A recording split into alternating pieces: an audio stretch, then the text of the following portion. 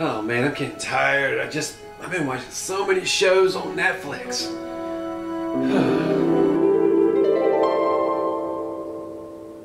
Computer, one water and one croissant.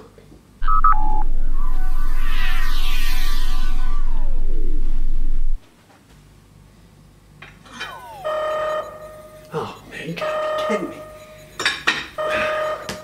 Oh no, it's the gravity generator. Oh, I gotta get to engineering. Oh my gosh, the gravity generator, it's halfway out of fluid. No wonder there's so much gravity in here. Oh, I gotta get to the communicator. Beam me up. Scotty. What the heck? I gotta stop watching so much Star Trek, man. Hey, the front desk just called. They said something about a gravity generator? For real? Warning. Warp core collapse in 10 seconds.